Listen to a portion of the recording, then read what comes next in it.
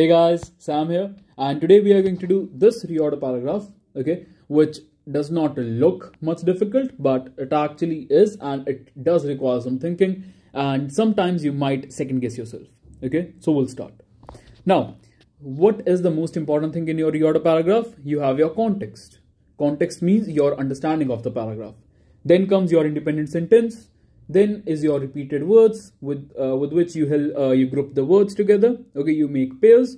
And then ultimately when you revise your answer you keep in mind the context the pattern the structure. Okay? The meaning. Now we'll start with this one. So if you see right away number one cannot be your independent sentence.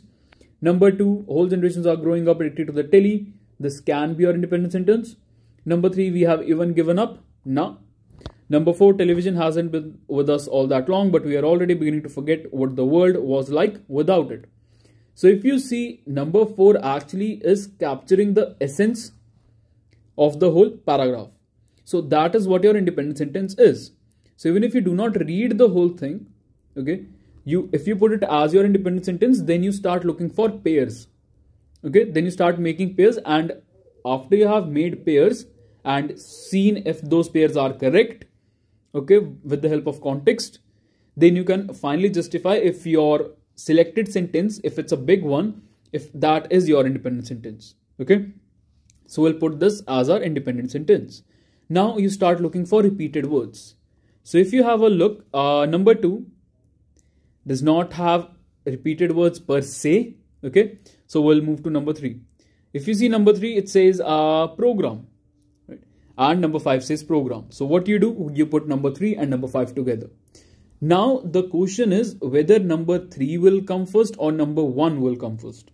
Because if you read, both of them are most of most probably the same, right? So what you can do is trial and error method.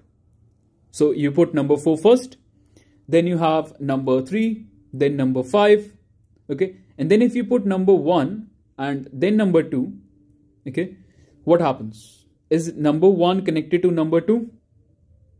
If you look at it properly, number two is basically your conclusion because it is summing up everything, right? Now, if you see number one as well, it says uh, uh, or gulp down our meals to be in time for this or that program. Where else do we see program? The third one. Don't interfere with the program. So this or that program and then the program reference. So please make sure that you read the whole sentences. So your correct order would be number 4, then number 1, number 3, number 5 and number 2. There you go.